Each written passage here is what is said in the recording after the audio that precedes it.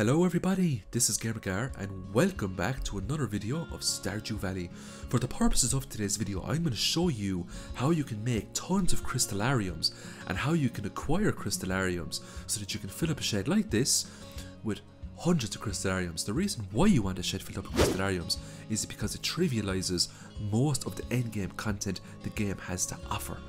Let's take a look at the mats needed to make a crystalarium. 99 stone, 5 gold bars, 2 iridium bars and 1 battery pack. I'm going to show you the best ways to get each of those resources in this video. For stone for example, you'll never have to go into the mines again to farm stone. This method for stone is going to change the way you harvest stone forever. All you need is jades, go to the desert on a Sunday and purchase staircases from the desert trader. The reason why you want to purchase as many staircases as possible is because we are going to convert these lovely staircases into stone using a deconstructor. Now you can get your hands on a deconstructor from Qi's Secret Walnut Room. I believe they only cost 20 Qi gems a piece. One deconstructor will convert the staircase into 99 stone and don't even take that long to do. As you can see here, I've got a setup here in the desert where I've got lots of deconstructors and these will break down the staircases for me into stone. Utilising this method, you can amass thousands of stone in the space of a few in-game hours in Stardew Valley. The days of going into the mines and hitting open rocks for you is over. Look at all the stone I got there for just putting in a few staircases. Next up, you can bypass the crafting method and you can hunt the treasure floors in Skull Cavern for, for crystalariums. Now, they are few and in between because the loot pool for treasure chests is absolutely huge, but if you go into the Skull Cavern with max luck, it increases the odds of you finding a treasure room, thus increasing the odds of you finding a crystalarium. Next up, let's talk about the iridium ore and the gold ore requirements to make crystalariums. The best ways by far to get your hands on these ores is to go into the Skull Cavern, get down as far as you can and start blowing the ores open with bombs or use a slingshot if you prefer. The trick to Skull Cavern is to get down to floor 50 as quickly as possible. If you can get to floor 50, my advice is to then start farming the floors for the ores because the iridium ores start to appear a lot more after floor 50. If you can make it down to floor 100 very quickly, do that instead. So the trick is to use your warp totem, get into the skull cavern and just ignore everything and just literally spam through the floors. If you can get 50 comfortably, farm after 50. If you feel like you can make it to 100 comfortably and still got a good few hours left in the day, get down to floor 100 and then start farming. If you haven't subscribed to the channel, please do so. It'll help me out a bunch I'd really appreciate it. I release Stardew Valley content every Mondays, Wednesdays and Fridays. So just click on that subscribe button if you like watching Stardew Valley content because you'll absolutely love this channel if you uh, if you like watching Stardew Valley content.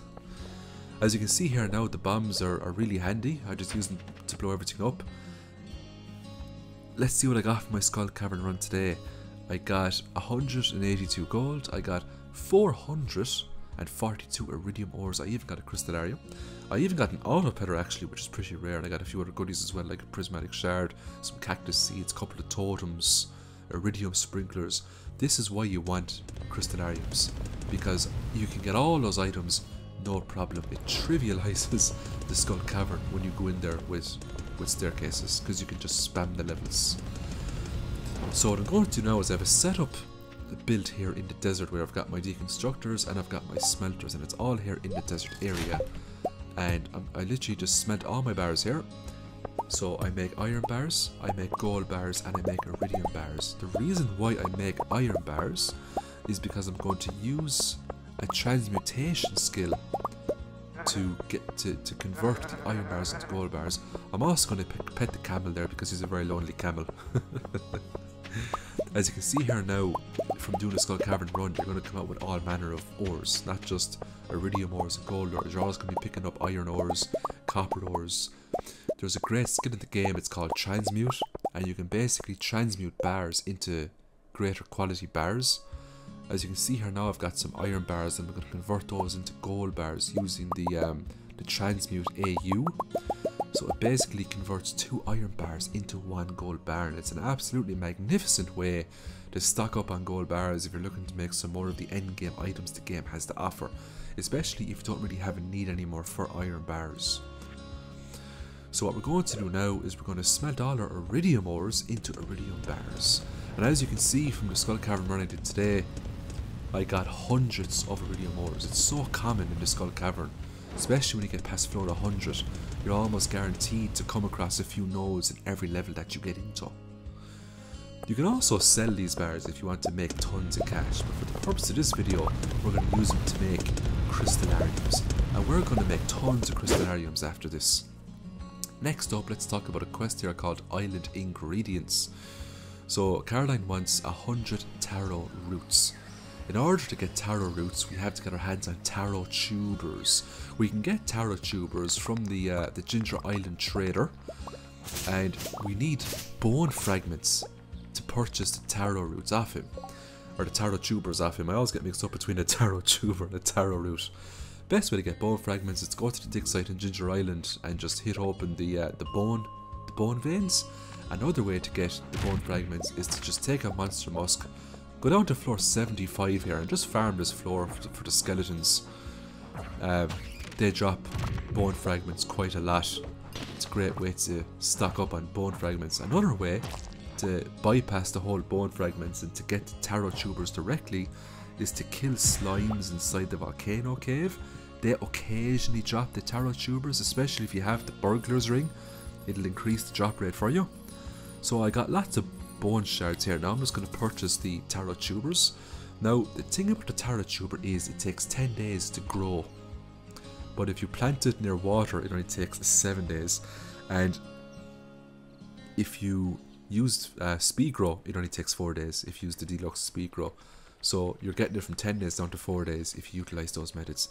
The reason why I'm doing this quest is because I want to learn a recipe called the solar panel and that generates batteries every couple of days.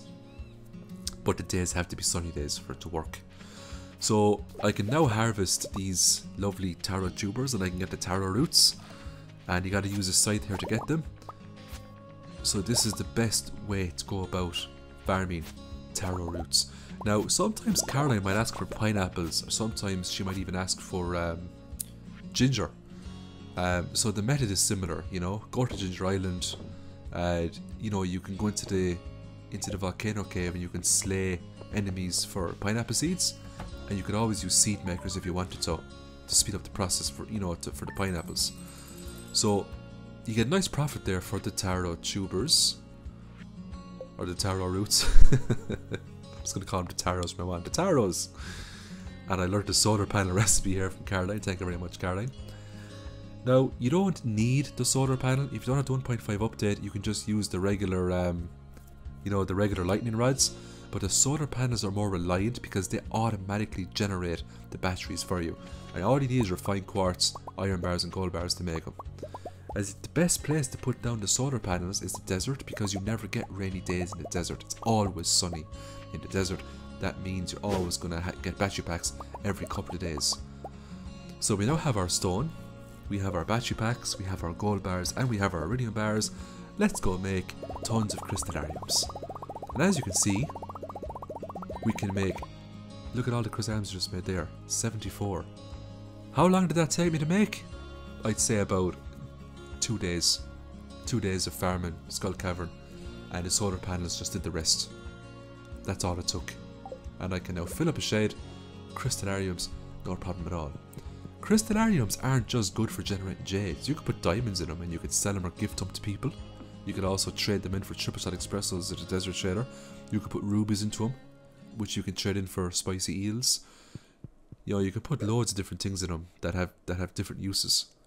You can also put other minerals into them that you get from breaking open those geodes as well, if you want to just, you know, sell those items and make a profit.